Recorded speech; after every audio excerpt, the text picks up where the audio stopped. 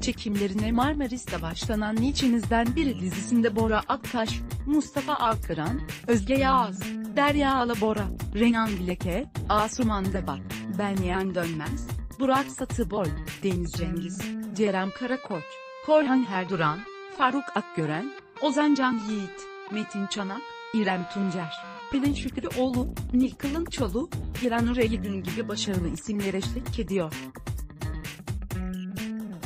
Marmaris'te çekimleri devam eden İçimizden Biri dizisinin genel hikaye, senaryo ve yönetmenliğini ise başarılı isim Ersoy Güler üstleniyor. Genel hikaye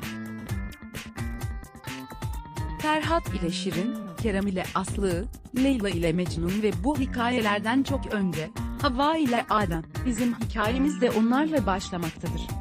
Geleceğin Adem'i, şimdilerin İrlandalı adamı ile Türk kızı Havva'nın imkanını kılmaya çalıştıkları aşk hikayesiyle nokta Adam ile Havva, ayrı dünyaların insanlarıdır. Bir İrlandalı Katolik bir papazın oğlu, diğeri geleneklerine bağlı Müslüman ve Türk bir ailenin kızıdır. Hayat, onları birbirinden çok uzak iki yörüngeye yerleştirmişse de kader, onları bir araya getirir. Çünkü İrlanda ekonomik bunalımdayken onlara yardımı Osmanlı padişahı yaptığı için adamın papaz olan babası William, birçok drogyadalı gibi bir Türkiye hayranıdır ve hatta yıllar önce tatil için geldiği Marmaris'e de hayran kalır ve oraya yerleşir. Üniversitede araştırma görevlisi olarak çalışan adam, Havva'yı görür görmez aşık olmuştur.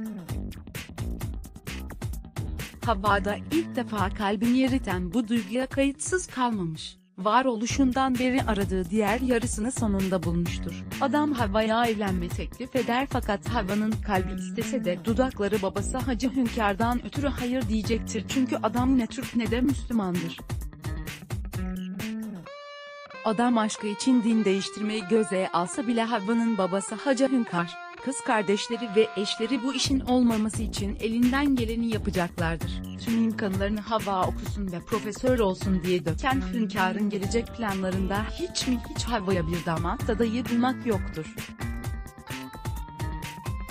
Havva gözünü karartarak babasının karşısına çıkıp bir İrlandalıya aşık olduğunu söylediğinde korktuğu şey başına gelmiş olur. İki aşık, aşklarını ailelerine kabul ettirmek için her yolu denerler. Adamın ailesi de iki aşağı açılan savaşta yatsınamayacak bir cephedir. Havva ile adam, aşklarına kör olan gözleri ve sağır olan kulakları elbet bir gün açacaktır. Yani onlar buna inanmaktadır. Adı Test,